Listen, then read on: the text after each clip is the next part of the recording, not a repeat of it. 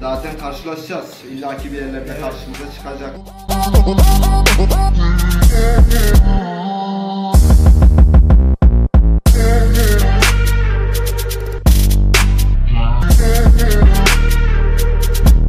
change. Erdal kardeşim.